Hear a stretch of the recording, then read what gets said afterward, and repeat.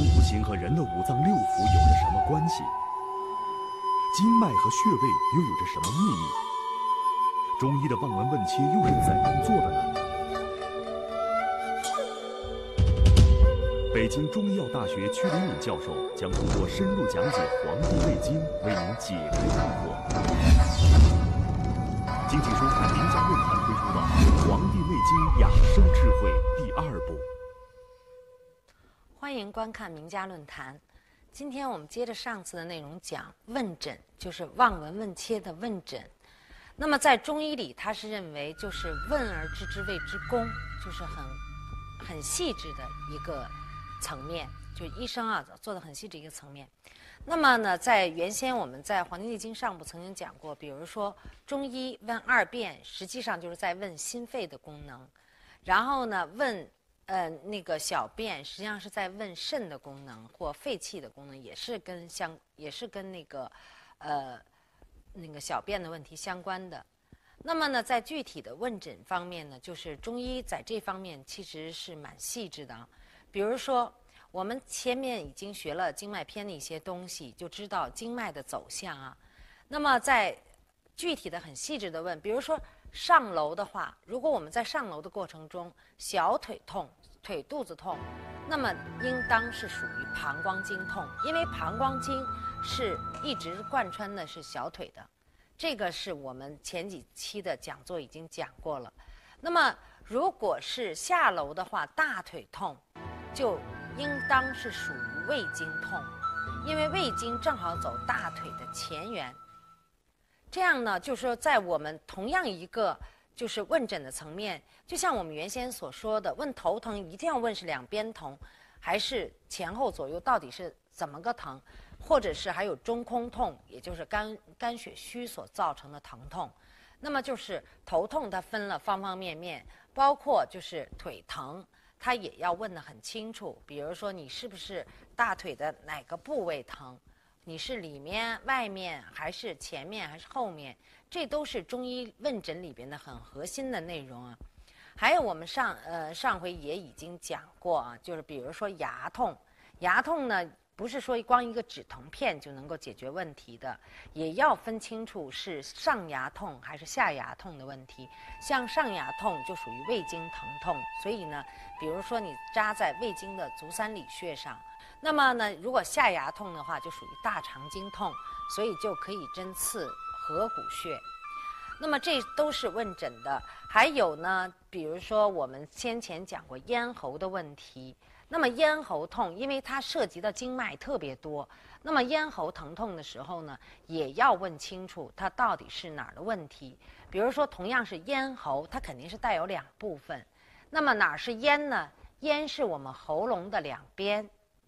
就是两边为咽，是里侧，不是说外侧。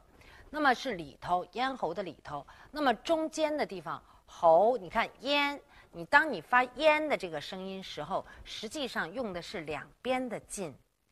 那么如果发喉这个音的时候，你用的是中间喉，你用的是中间的这个力气。所以呢，实际上一个咽喉的问题，它就分咽和喉的问题。那么呢？我们曾经说过，凡是病已经到了咽喉的话，那么就要很小心，因为它很快就会上脑。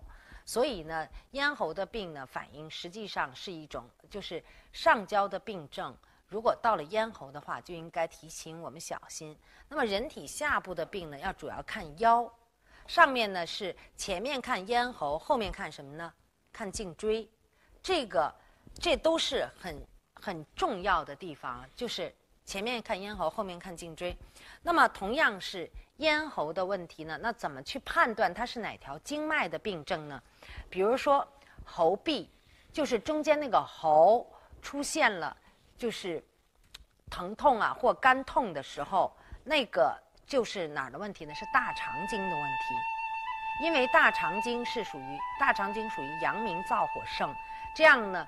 如果它为什么会出现肝疼呢？阳明燥火，它就能够把津，把那个液全都津出去，所以呢，这样就会造成喉的那种肝痛的象。那么，假如是颈肿喉痹呢，就是脖子都粗了的那种喉病，是属于什么呢？是胃经的病，因为胃经是循喉咙走一圈儿的。胃经啊，沿着喉咙啊，它是走一圈儿，所以你如果脖子都粗了的话，就是都肿肿大的话，然后包括中间肝疼的话，就是胃经的问题。因为胃胃经也是属于阳明燥火，它如果出现阳明燥火盛的话，也是会经过度板液过度的经出去，也会形成这种肿痛的现象。如果是两边痛，两边痛的话，就是两边夹咽的夹咽的这个地方，要是痛的话呢，就属于是脾经，脾经的问题。那么和心经的问题，心经也是夹咽益肝，是益是哪部分呢？益，所谓的一个口字一个意念的意，这个意的部分是喉结以上，这个在男人身上就显现的比较清楚，就是。喉结以上的问题，因为心呢，心火就更加的上炎，造成上半部的疼痛。那么呢，像这儿呢，因为心与小肠相表里，所以上面的异痛再加上这两块肥大，就是小肠病。这些呢都是分得很细致的啊。如果是整个的那个咽喉，就咽啊里边肿，然后包括上面易肝痛的话。那么这个就是肾经的病，也是循喉咙。那么还最后还有两个，一个是一种喉痹，也是三焦的一个毛病，就是三焦经也是走这儿，也是走异部和喉中央的喉，就是这也是三焦的象。最后一个呢就是肝经，肝经就是易肝，肝经症里边也提到过易的问题，就是易会肝，这个很干啊。那么这个部分呢，肝经这部分呢，跟前面这些疫有一点点区别，就是肝经的喉部的症状基本上偏喉咙的后部，就是往深处走，后部。那么肝经是从那儿上来的，所以呢，同样就是一个咽喉要道啊。咱们看一共涉及了多少个经脉？一共涉及到八条经脉。那么这就是。中医辩证里边的一个很重要的内涵，就是说，你无论问诊，你一定要问清楚，不是说，哎呀，大夫，我嗓子痛，嗓子疼就完了的一件事，一定要问他到底是哪个部位，是两边的疼痛，还是中间的那种疼痛，这都要问得很清楚才可以。这就是中医问诊的里边的一个很很宽泛的一个方面啊。那么就是能够问出很多问题的。嗯，那个这个呢，就叫做工工匠。中医认为，通过问能够了解更多患者的内在病情，这就是问而知之谓之功。那么最后的切又能够对大夫起到哪些帮助呢？中医他认为，就是从望闻问切四个层面，当然第一个层面是最高的，就是神，然后第二个层面是圣，第三个层面是功。工就是已经到了，工是什么一概念呢？就是在某一行当当中，他已经算是很拔尖的人物了，这就叫工。那么就是工巧嘛。最后一项就是巧，巧涉及到的是什么呢？就是切而知之谓之巧。这个呢指的是切脉的问题，这是中医特有的一种象，就是它非常的贴贴近什么？就是说他相信就是身体，比如说我们的手指。身体和生命的那种对生命的那种感悟，像你这个手指一搭在脉搏上，然后你能够感悟到的东西，那个东西对你的生命的就是那个认知也是有一定的作用的。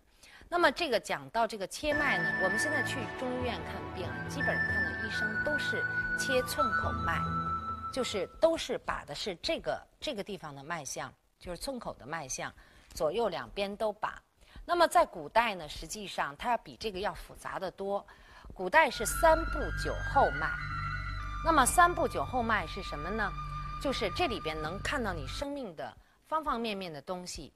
这个是中国古代是认为三部脉是上边为人迎脉，就是在颈部的两边这儿有脉动。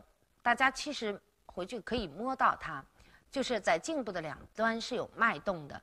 那么这是人迎脉，然后是寸口脉，然后是脚面还有一个扶阳脉，扶阳脉针对的是呃人体的哪条经脉呢？就是胃经，因为中国古代对胃它是非常关注的，就是后天脾胃后天脾胃啊，它非常的关注，所以呢，它一定要把脚面的扶阳脉，它要看你的胃气是怎么样的。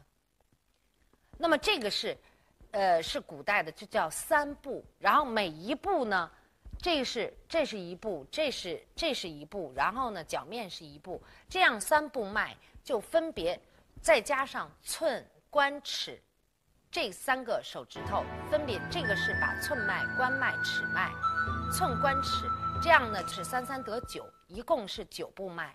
其实呢。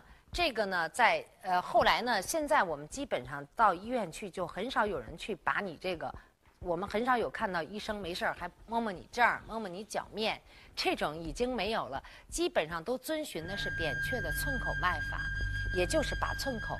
把寸口呢，这里边实际上也有九层。为什么这么说呢？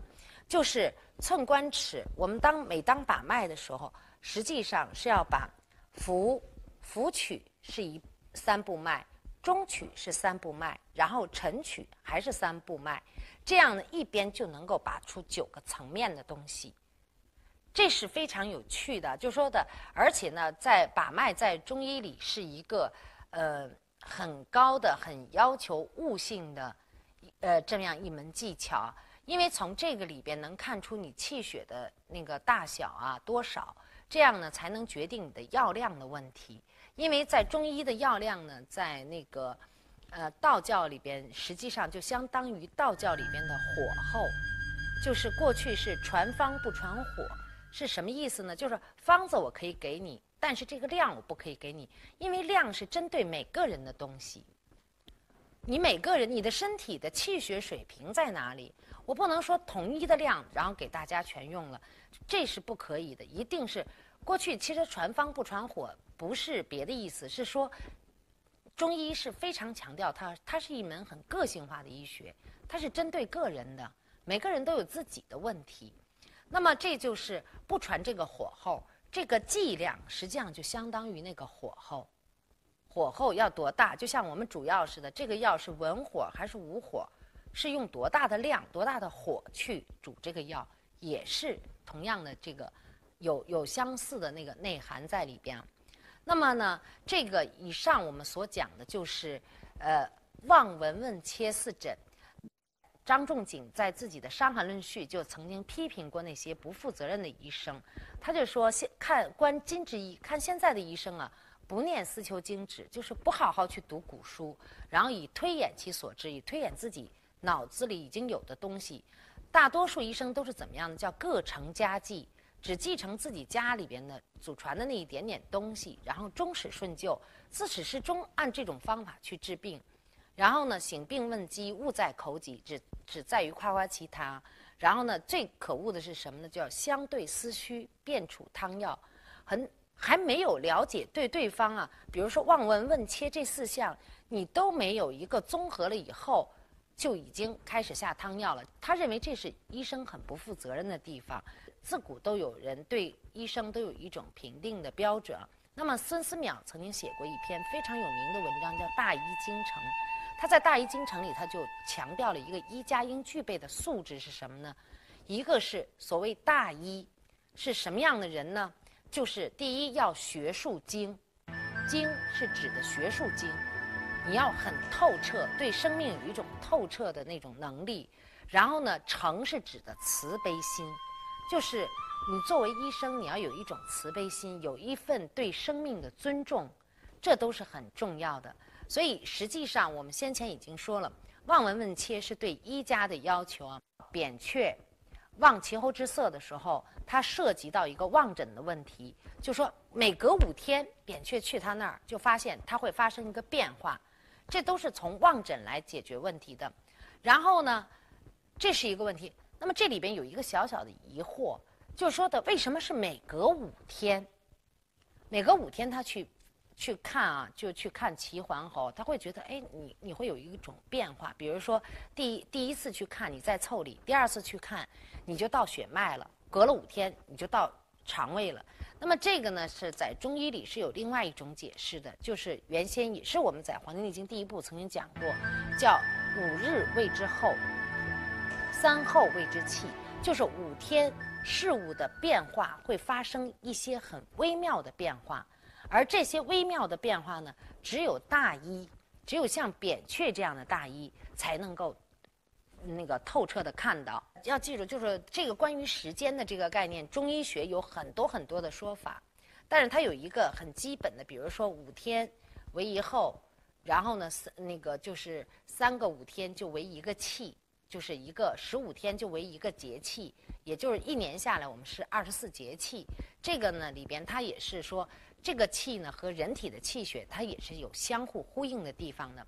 那么另外一点呢，在《扁鹊望其后之色》里边，除了讲了这个望闻问切的内涵，望闻问切的有这个含义以外，他还讲了一部分，就是疾病的层面。就假如我们要生病了的话，疾病的层面是怎么样的呢？而且治疗的方法又是怎样的呢？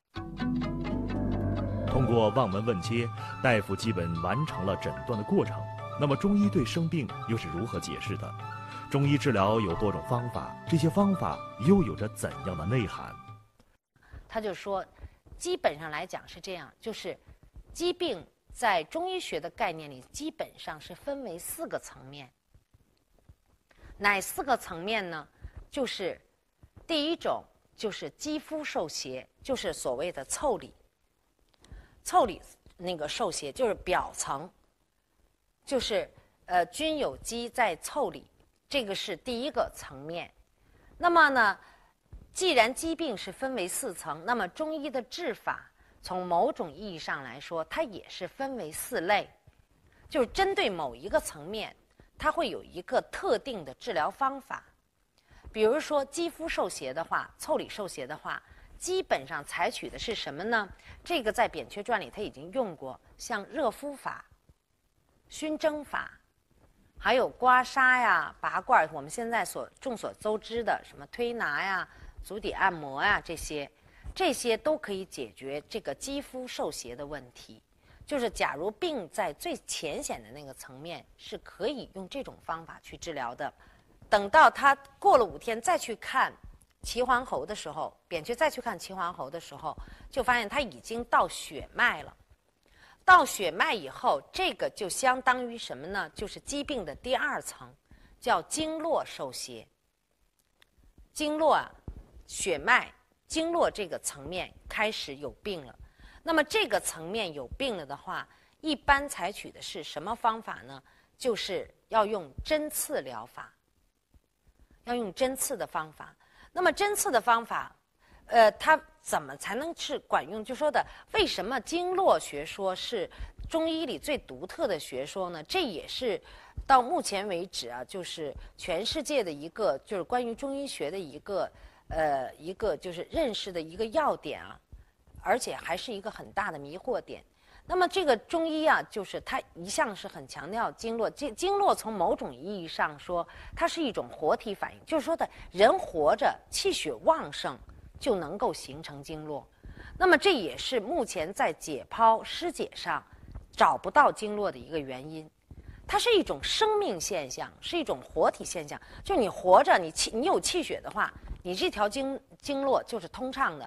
如果你气血衰败了，就像铁路一样，假如你这条铁路，比如说我们都知道郑州是一个大站，那么就是说这就是一个很重要的穴位，然后由它分出去很多的。大的那个路线啊，经络的路线，那么呢，如果有一条线我慢慢慢慢不用它了，它就荒废掉了，那么这条脉络可能就会出问题，就不就不存在了，就不通了。如果没有这个气血在这里作用的话，这个经络现象是不存在的。那么中医里就非常强调，就说的什么呢？就是说经络是干什么用的呢？他是认为是可以决断绝生死。从经络可以明白生死，因为经络是连缀着五脏六腑的，就是它都通五脏，既通五脏又通六腑，所以你哪个脏器出现了衰败，经络是有显现的。所以他说你可以判断生死，然后也可以除百病，就是判断百病，所有的病它都可以判断，然后呢也可以知道虚实。所以呢，经络有一句很重要的、很核心的一句话，叫做“不可不通”。所以我们目前现在治病，也因循的是这条原则，就是治病的一个首要原则，就是通经脉。一定要保持经脉的通畅。你就想想，这个道路是通的。那么气血它就会自然，就人体是最精密的自组织结构，它自然知道，比如哪儿的气血虚了，它有余力的话，它自然会去往那儿补，或者是往那儿运行的。如果它没有做到这一点，就是它现在气血不够，那么人体它还有一个最经济原则，它一定要先保住命。就说如果得了这个病，我现在解决不了，那么我第一条我要先。活着，我要先保这个命，然后呢，等气血慢慢培补足了以后，然后我再去解决疾病的问题。这就是人体的一个经济原则。所以我们说到人体的时候，经常会提到一个观点，就是说的，你，比如说你人生啊，在人生当中，你做事是可以努力的，但是对于人体这个观念要稍微有所变化。就说，你的身体如果满足不了你的需求的话，你就不要过分的拉动它，不要过分的去努力。为什么说身体比大脑更聪明？背后又蕴含着怎样的中医学说与原理？中医的治疗方法又有着怎样的内涵？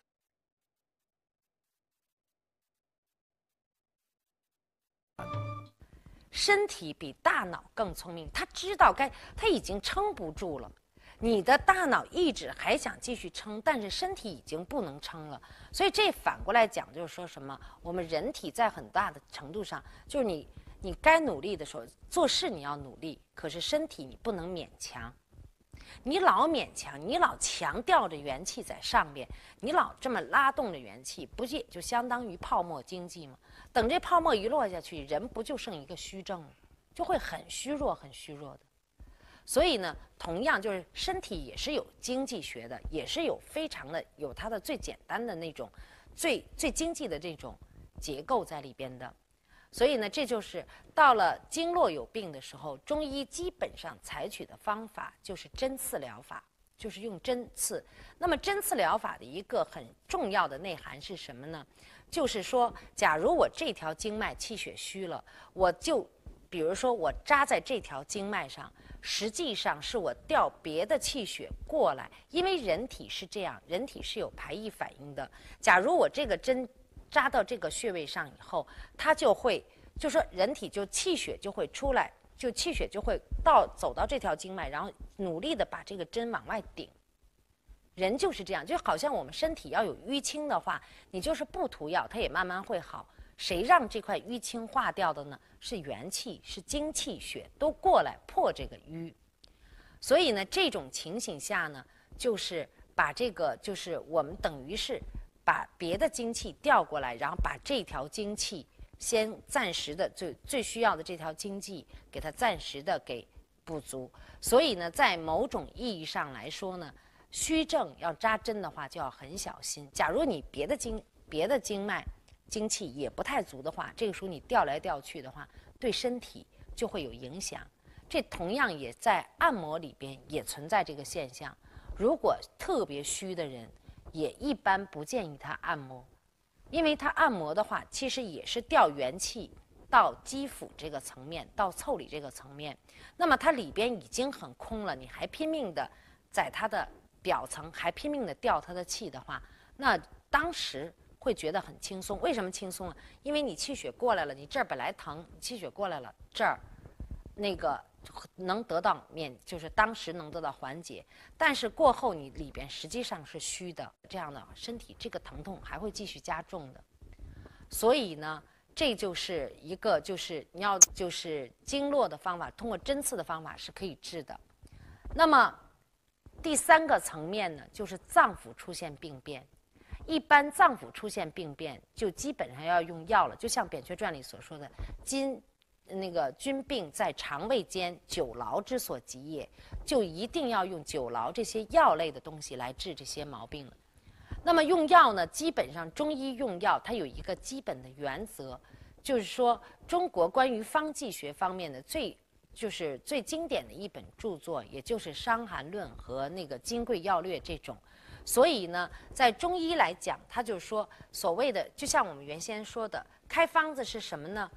为中医为什么不叫开药，而是叫开方子？开方子，方乃正也，就是说的是开的是一个正确的方向。就是你一定要开出一个正确的方向，我到底要干什么？